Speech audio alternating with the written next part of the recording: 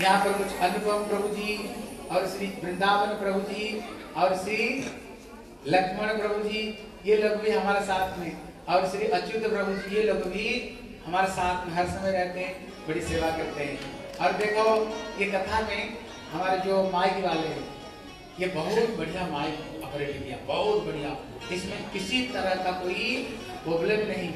हर तरह से बढ़िया से बढ़िया, जितनी जगह पर हमने कथा की, इतने सुंदर माइक किसने और उन्होंने मशीन नहीं चलाई, इसलिए आप इनके लिए भी जोरदार ताली। और देखो, ये मंदिर के जो पुजारी जी पुजारी जी है मंदिर के? कहाँ है पुजारी? पुजारी प्रभु जी है मंदिर तबियत खराब है।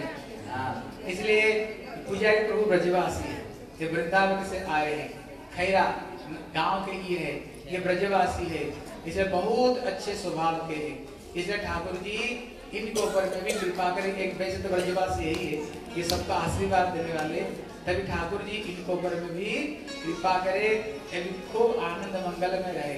इसलिए आप इनके लिए भी ताली बजाओ देखो, आप लोगों ने सबका आशीर्वाद दिया, मुझे भी आशीर्वाद देनी चाहिए। के।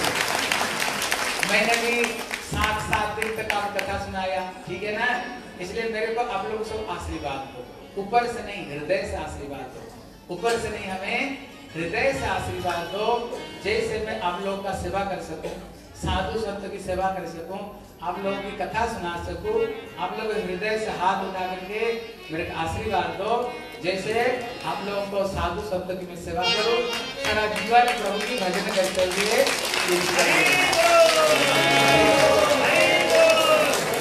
देखो, अभी ये कथा है अब विश्राम की तरफ़ में कथा जा रही है। कहते हम सात दिन तक कथा सुने नियम है कुछ लो और कुछ दो। बोले, लेंगे क्या, देंगे क्या? बोले, गंदी चीज़ को दे दो। गंदी चीज़ में जैसे शराब नहीं पीनी चाहिए, मांस, मदिरा हाँ मछली, अंडा, प्याज, लहसुन नहीं खानी चाहिए जुआ नहीं खेलनी चाहिए, अवैध रूप में पुरुष, स्त्री स्त्री पुरुष से नहीं मिलनी चाहिए। इसलिए चार नियम का हमें पालन करनी चाहिए। गंदी चीज़ को छोड़ दो। बोले लेके लेके बोले भक्ति को लो। प्रभु का प्रेम को यहाँ से लेकर के जाओ। इसलिए विशेष करके हमें चार चीज़ ग्रहण करनी चाहिए।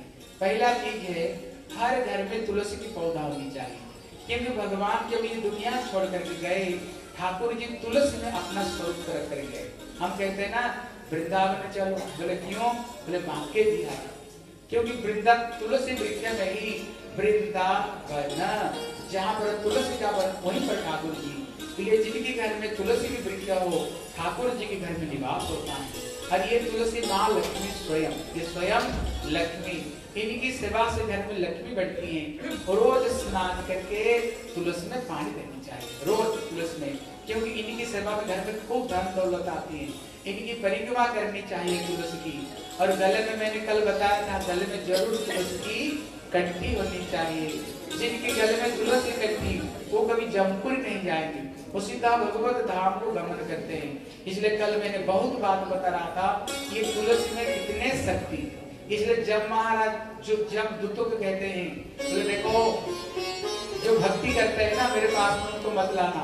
बोले, पता कैसे चलेगा? फालतू कुत्ते। जो पालतू कुत्ते हैं, गले में पट्टा बंधा हुआ रहता है। देखने से पता चलता किसी घर की कुत्ते। और जो फालतू कुत्ता बिना पट्टे में जो रोड में घूमते हैं और फालतू को कोई मारते नहीं, फालतू को कोई छोड़ते नहीं। इसलिए गले में जिनकी तुलसी गठी है, वो ठाकुर जी की फालतू है। वो कभी जमपुर नहीं जाएगी। इसलिए आप कभी हमारे मंदिर में आकर देखना, अंग्रेज़ी लोग हाँ अंग्रेज़ी लोग, वो गले में मोटे मोटे तुलसी माला पहनते हैं। फिर क्यों? उनको पता चला, भैया, तुलसी कोई साधारण वृक्ष नहीं। इसमें भगवान की निवास इसलिए पहला ये है। दूसरी चीज़, हर घर में ठाकुर जी होनी चाहिए। है कि नहीं घर में? घर में हर घर में ठाकुर जी की पूजा होनी चाहिए। लड्डू गोपाल हो नहीं तो जुगल सरकार हो नहीं तो सीताराम हो लक्ष्मी नारायण हो हर घर में ठाकुर को सेवा पूजा होनी चाहिए। जि, जो जितने सुंदर रूप में ठाकुर को सेवा पूजा करते हैं ना उनको घर में उतना शांति सुख बनी रहती है। कल मैं बता रहा था ना जैसे अपना शरीर को श्रृंगार करो और शीशा को सामने खड़े हो जाओ। देखना परछाई को सजाने का ज़रूरत नहीं। अगर ये शरीर को सजा दिया परछाई अपने आप सज जाती है। मतलब क्या, जो मूल है ठाकुर जी, आप उनकी जितनी अच्छे तरह से सेवा करोगे, उनकी भोग लगाओगे, श्रृंगार करोगे, आप देखना अपने आप तुम सज जाओ अपने आप तुम सज जाओ क्योंकि ठाकुर जी अगर खुश रहे ना, घर में तो खुशियाँ रहेगी। ठीक है ना?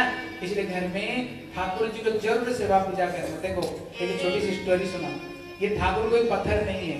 बल्कि एक समय अयोध्या की कथा है एक समय गुरु जी और उनके चले थे।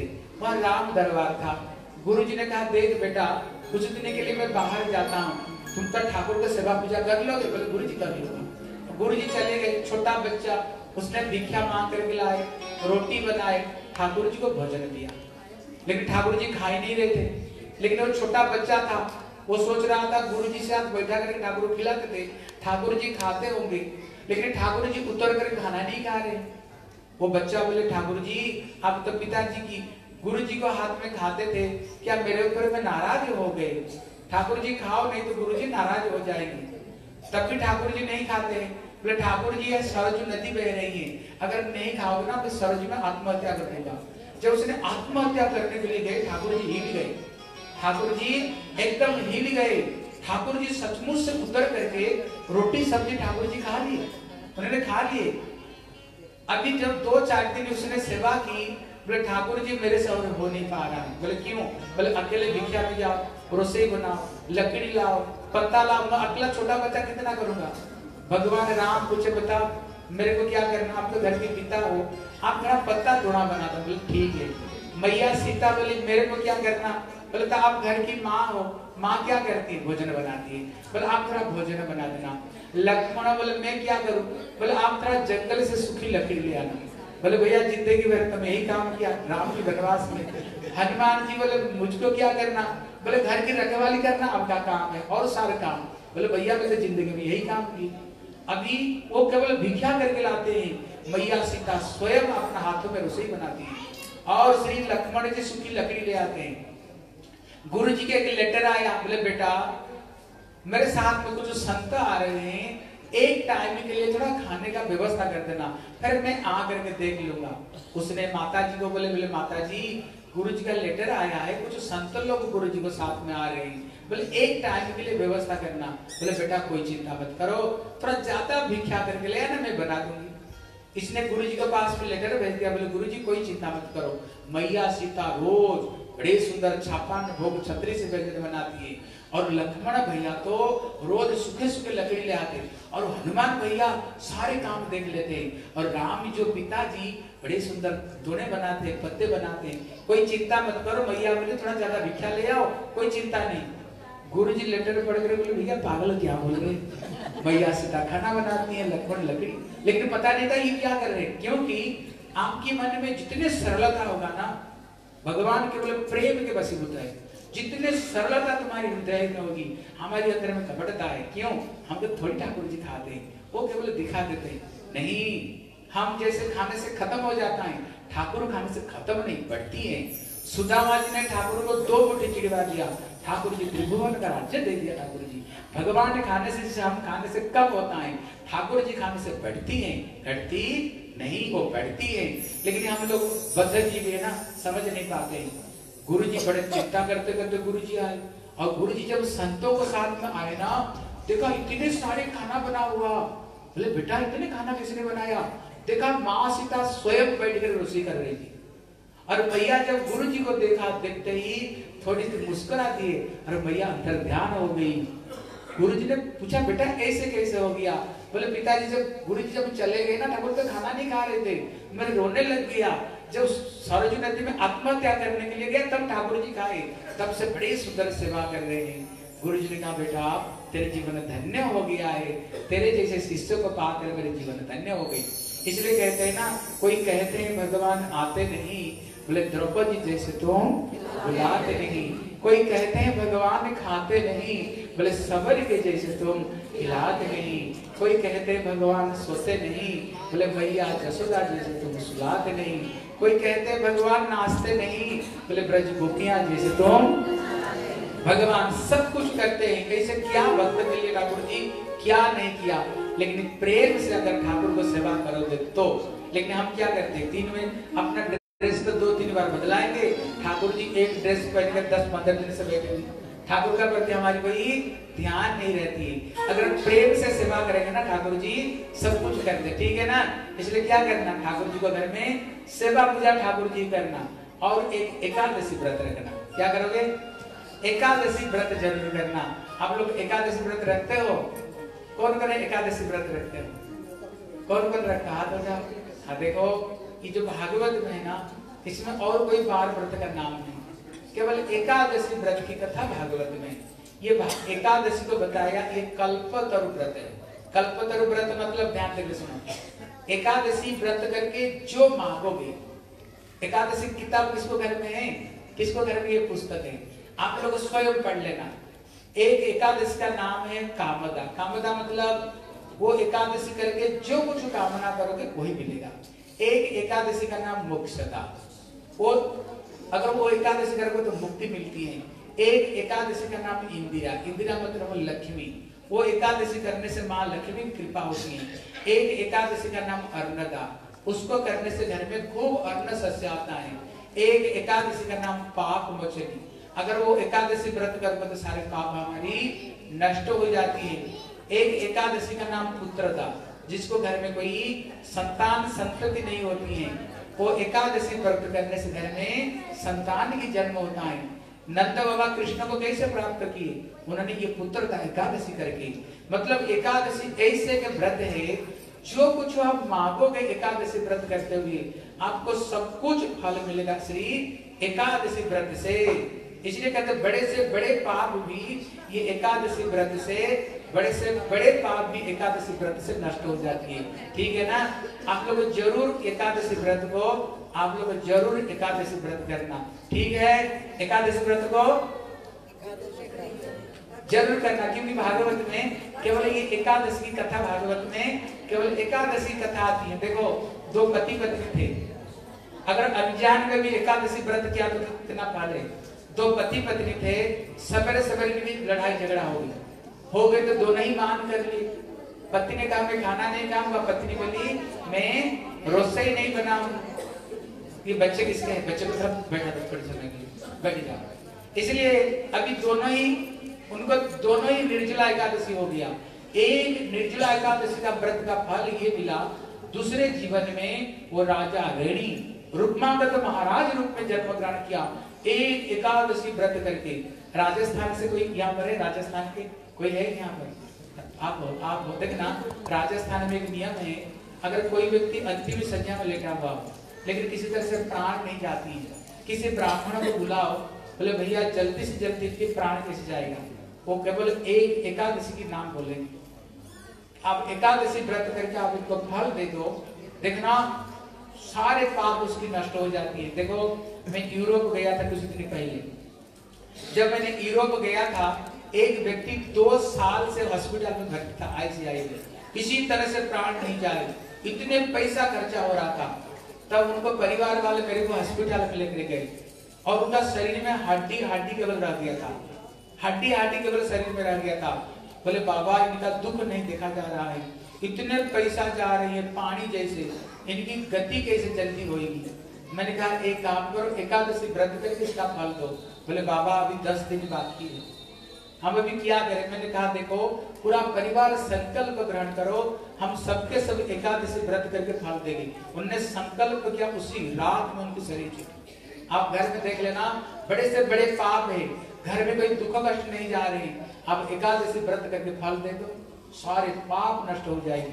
एकादशी की इतने महत्व, एकादशी की इतने पुण्य है। इसलिए एकादशी व्रत भागवत में लेकिन कुछ लोगों का धारणा है, फिर उद्यापना करना पड़ता है। नहीं, भक्ति जगत में हम एकादशी उद्यापना नहीं करते, क्योंकि एकादशी को राधा रानी के स्वरूप मानी गई। इनको त्याग नहीं देते जितना दिन संभव, उतना दिन करो। नहीं कर पाओगे तो कोई दोष नहीं तुम्हारे। कोई भक्ति में कोई दोष नहीं होता है। कुछ कुछ का धारणा नहीं, सधवा करती है, न विधवा करती है, सधवा नहीं कटवल नहीं। अब भागवत पढ़ करके देखो अम्बरीश महाराज, उनको पत्नी मथुरा में एकादशी व्रत किया था दुर्वासा आया नंद जसोदा की, रुक्मिणी सत्यभामा करती थी। सबसे जो बड़ी एकादशी पांडवा निर्जला, जिसमें पंच पांडव द्रौपदी कुंती को साथ में करते थे। क्या द्रौपदी विधवा थी? नहीं। एकादशी व्रत सभी के लिए, एकादशी व्रत का फल शरीर एकादशी का दिन अन्न में गो हत्या नर हत्या ब्रह्म हत्या भ्रूण हत्या वो सारे पाप रहता है। कहते सारे पाप से मुक्ति मिलती है। लेकिन एकादशी का दिन अन्न खाने से कहते कोई तरह किसी तरह का मुक्ति नहीं है। है? इसलिए आप लोग ज़रूर एकादशी व्रत को आप करना। और एकादशी में अन्न खाने पर पाप होगा। पाप होने पर क्या होगा? फिर दुख कष्ट भोग करोगे। दुख कष्ट भोग करो तो मेडिसिन खाओगे। देखो मेड ईट सीन तेरा माई सीन क्रोसीन देखना सब सीन सीन ना। सीन मतलब क्या? पाप। ये दुख क्यों आता है? ये पाप से सारी ये दुख कष्ट, ये पाप से आता है। इसलिए तेरा माइसिन क्रोसिन इसलिए सीन सीन सीन शब्द शब्द मतलब ये जो एकादशी है, ये एक साइंस है। आप लोग बोलो, भैया, क्या साइंस देखो, ध्यान देकर एक मिनट सुन लो। एकादशी में क्या साइंस है अच्छे तरह से समझो। हमारे जितने ऋषि मुनि लोग बहुत बड़े बड़े साइंटिस्ट थे। व्यास, पराशर बाल्मीकि अब देखना, न्यूटन, आइंस्टाइन, जितने बड़े बड़े साइंटिस्ट ही है, उन लोगों ने जो थ्योरी बता करके गए थे, अभी जो साइंटिस्ट लोग उसमें गलत दिखा रहे इसलिए बच्चों का कभी कभी पुस्तक बदलती है। लेकिन हमारी गीता कभी बदली, कोई श्लोक, रामायण का कोई पयार बदला, भागवत का कोई बदला? नहीं। बोले, क्यों? वो प्रॉपर साइंस ही। है वो ऋषि मुनि लोगों ने ध्यान से जो कुछ देखा दिव्य नेत्र में उन लोगों ने देखा। उसी तरह आप बोलोगे, भैया, इसमें क्या साइंस है? एकादशी में क्या साइंस है? देखो, समझ लो चीज़ थोड़ी सी। इसलिए मैं बोल रहा हूँ, आपको दिमाग में बैठ जाए। लोग साधारण लोग सोचते हैं हरे कृष्णा प्रभु जी हरि बोल। हरे कृष्णा रुक जाओ दो, मिनट रुक जाओ फिर आए इसलिए देखो एकादशी में क्या साइंस इसी अच्छे तरह समझो जैसे हम लोग काम करते हैं लेकिन संडे को छुट्टी रहता है कि नहीं? स्कूल जाते हैं बच्चे संडे को छुट्टी रहता है कि नहीं? जैसे कोई दुकान में काम करता है एक दिन छुट्टी रहता है जैसे बच्चा स्कूल पढ़ने के लिए जाता है छुट्टी रहता है कि नहीं? बोले, क्यों छुट्टी रहते? उसको सात दिन ही पढ़ा बोले, नहीं। फिर वो पागल बन जाएगा। है? उसी तरह जो शरीर है ये एक मशीन है। इसलिए शरीर रूपी मशीन को बीच बीच में रेस्ट देनी चाहिए। बीच बीच में रेस्ट देनी चाहिए। अगर बकरी जैसे दिन भर खाते रहोगे, फिर ये मशीन ज़्यादा दिन नहीं चलेगी। कोई भी मशीन हो, उसको कंटिन्यू चलाओगे तो मशीन ज़्यादा दिन ही नहीं चलेगी। इसलिए ऋषि मुनियों ने देखा कि शरीर में एक मशीन शरीर सुस्त रहेगा, तब तो भक्ति करेंगे ना? नहीं तो भक्ति कहाँ से करेंगे? इसलिए ऋषि मुनियों ने कहा, देखो पंद्रह दिन में ये शरीर को थोड़ी सी रेस्ट दो, शरीर को थोड़ी सी विश्राम दो। हाँ देखो, यहाँ प्रश्न आता है, हम एकादशी का दिन ही शरीर को विश्राम दे। दूसरे दिन तो विश्राम दे सकते हैं, लेकिन एकादशी में इसको क्यों रेस्ट दे? ये चीज़ को समझ लो। आप लोग समुद्र में सुने होंगे कि हाई टाइड होता है। पानी बढ़ती है, पानी घटती है हाई टाइड ये हाई टाइड कब होता है। देखना एकादशी से लेकर पूर्णिमा तक समुद्र का पानी उभरती बढ़ती बोले, क्यों? बोले, ये जो चंद्रमा की चंद्रमा की जो आकर्षण, चंद्रमा पृथ्वी को खेचती है, और ये पृथ्वी चंद्रमा को भी खेचती है, दोनों दोनों को खेचती है। लेकिन ये चंद्रमा पृथ्वी को, कहती है चंद्रमा पृथ्वी तो बहुत बड़ी है, इसको तो खेच नहीं सकती, इसलिए इसका प्रभाव पानी के ऊपर पड़ता है। इसलिए चंद्रमा जितने बढ़ती रहती है, समुद्र का पानी उतना उभरती रहती है उतना उभरती रहती है। और पूर्णिमा को बड़ी बड़ी लहरियाँ आती हैं, फिर उसको बाद में प्रथमा द्वितीय होते तो फिर घट जाती है। फिर उसी तरह हमारा जो शरीर है, पाँच चीज़ से बना हुआ। बताओ तो पाँच चीज़ क्या क्या है? ज़ोर से बोलो। कौन बोलेगा ज़ोर से बोलो? पाँच चीज़ क्या क्या है? हाँ इसमें मिट्टी, वायु, जल, आकाश और पृथ्वी। आप बताओ, सबसे ज़्यादा शरीर में क्या है? पानी कितना परसेंट है? सेवेंटी फाइव परसेंट है। इसलिए शरीर में पानी होने का नाते ये चंद्रमा का प्रभाव ये शरीर में पड़ता है। इसलिए जिसके कमर में दर्द, घुटन में देखना, एकादशी में थोड़ी ज़्यादा होगा। द्वादश में पूर्णिमा में इतने दर्द होगा सो नहीं सकते। आप किसी हॉस्पिटल में चले जाओ, देखना, एकादश से लेकर पूर्णिमा तक तो ज़्यादा लोग हॉस्पिटल जाते हैं। आप किसी शमशान के पास में चले जाना एकादश से लेकर पूर्णिमा तक ज़्यादा लोग मरते हैं। कहीं खून खराब होता है, ध्यान देकर देखना। एकादश से पूर्णिमा तक ज़्यादा। क्यों? ये चंद्रमा का प्रभाव इस शरीर में पड़ता है। इसलिए ऋषि मुनियों ने कहा, देखो, जैसे अन्न नहीं खानी चाहिए रोटी नहीं, क्यों? स्पंज होता है। जैसे आप अन्न खाओगे, रोटी खाओगे ना, थोड़ी देर बाद में फिर आपको प्यास लगेगी। लेकिन आप फल खाओ, प्यास नहीं लगेगी आपको। फल का प्यास नहीं लगेगी। इसलिए ऋषि मुनियों ने बड़े बड़े साइंटिस्ट थे और जितने शरीर में पानी मांगेगा चंद्रमा का प्रभाव उतना पड़ेगा और उतना शरीर बीमारी पड़ेगा। इसलिए एकादशी व्रत ज़रूर करना एकादशी व्रत से सब कुछ मिलती है ठीक है? हाँ कृष्ण रुक्मिणी तैयार है ना? हाँ, एक मिनट। देखो ये जो भीष्मक राजा थे उनकी पाँच बेटे और बेटी सबसे छोटी रुक्मिणी थी। लेकिन ये रुक्मिणी महालक्ष्मी नारद जी को ये बात पता था। नारद जी उनको बड़ी प्यारी प्यारी कथा सुनाया करते थे। अभी रुक्मिणी ने सोची, मैं शादी करूँगी ना, केवल द्वारकाधीश से शादी करूँगी और किसको साथ में शादी नहीं करूँगी। लेकिन उसका भैया बोले, नहीं, इसकी शादी तो श्री शिशुपाल को साथ में होगी, राजा महाराज। और कृष्ण ग्वाला उसको साथ में क्या बेबी इतने में रुक्मिणी ने कृष्ण के पास में एक सुंदर उन्होंने पत्र लिखे। बोले, प्रभु आप जगत का सबसे सुंदर आप ही हो। आपकी कथा सुनते सुनते आप मेरे रोम रोम में बैठ गए। मेरी भैया शिशुपाल को साथ में साथ में देखा लेकिन भैया, प्रभु जी, आप पुरुष सिंह हो। हाँ ये पुरुष सिंह आप ही हो। जगतपति जगन्नाथ आप ही हो, जगतपति जगन्नाथ। अगर आप मेरे को यहाँ से उद्धार नहीं करोगे जन्म जन्मांतर तक तो शरीर में छोड़ सकती हूँ। लेकिन ये जगत में किसी व्यक्ति को मैं ग्रहण नहीं कर सकती हूँ। रुक्मणी कहती, प्रभु, आप मेरे को उद्धार कैसे करोगे? बोले, हमारी एक नियम है, शादी से पहले ये लड़की अपना राज पहले से बाहर जाती है माता जी को पूजा करने के लिए। जब मैं पूजा करने के लिए जाऊँगी, आप अपना पराक्रम को दिखा हुए वहीं पर हरण करना। उन्होंने डिटेल से रूप में कृष्ण का सब कुछ लिख दिया। जिस समय रुक्मिणी अपना सहेलियों के साथ मंदिर में गई देवी पूजा, शंकर पार्वती स्वयं प्रकट हुए, वेद मंत्र से कृष्ण रुक्मिणी को शादी करा दिया। लेकिन ये बात किसको पता ही नहीं पड़ा? मैया रुक्मिणी जब निकली, मैया रुक्मिणी कौन है? ये जगदम्बा जग जननी। अपना घूंघट को निकाली मेरे प्रभु कहा? इतने सुंदर थी रुक्मिणी, वहाँ पर जितने सैनिक घेर करके खड़े हुए थे, सबके सब वही बेहोश हो गए।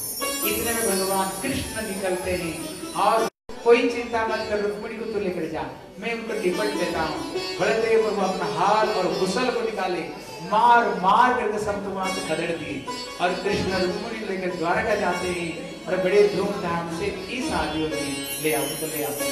बोले श्री रुक्मिणी रामायण भगवान। की जय। जय जय श्री राम।